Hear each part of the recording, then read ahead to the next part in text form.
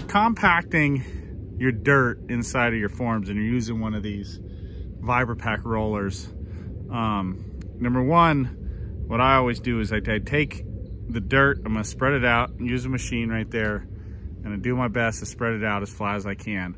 But if you have all these lumps and these bumps, the Vibrapack is gonna want to go and sink itself one side or the other. You're gonna get it pushed up against the form and that's not good. So you wanna take it and you wanna just take your shovel and just spread it out. Doesn't have to be perfect, just spread it out nice and flat, you know, kind of so that the Vibrapack can just roll right over anything. It's not gonna go left or right and sink down in a little hole and get pushed up against your forms in any way.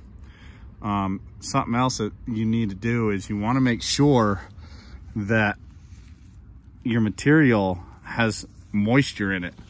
Um, if your material is dry, you're not gonna get a good compaction rate. So either it rained a ton last night, so I didn't have to add any moisture to this material, but if it doesn't rain and it's dry material, you take a garden hose, take your fire hose, something and spray it down, get it wet, spread the gravel out in your pad, take the hose, spray it down, and then pack your dirt. Um, but yeah, make a little bit of prep, a little bit of extra prep, a little bit of extra time, a little extra work, makes everything go a lot easier and a lot smoother.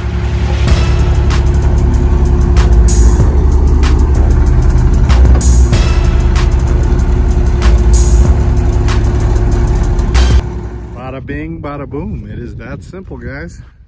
We will do that over and over until we reach this level here on our porch.